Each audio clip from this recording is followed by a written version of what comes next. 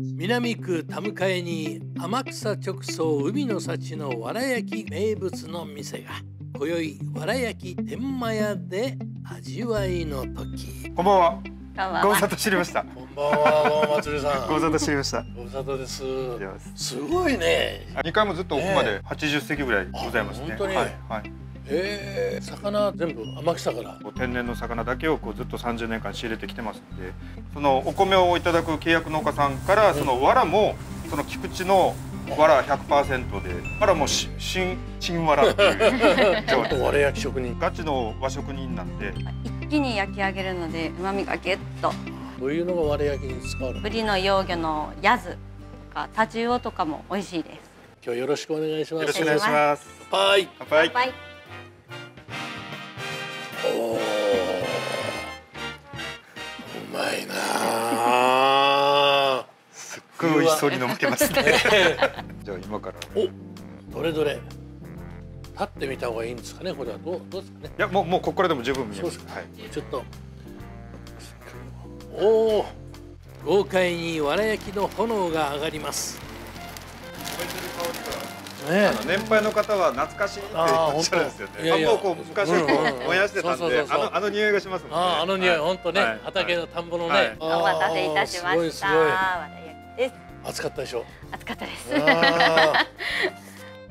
海のわら焼き三品盛り合わせ。今日はハガツオにタチウオにヤズまずカツオから天日塩自家製の大大豆なんです。たっぷりつけていただいて、もうこれが一番美味しい食べ方なの。で。おお、あうまい。わらのね焦げた香りがはい。魚に移ってますね。そうですね。ヤズを。高知に行くと必ず生のニンニクを乗っけて食べるみたいなのちょっと覚えましたけど、うまいね。タチウオだけはさっと火にくぐらせるぐらいしかしてないです。はい。美味しいですね。ありがとうございこれはその十割そばを湯がいた。そうですね。もうそば湯をそのまま割っただけなので。滑らかな。そうですね。とろーんとしたね、は味になる。来ました。オーナーこだわりの十割そば鶏そば。蒸し鶏に水餃子まで入って具だくさん。ラーメンじゃないのっていう う。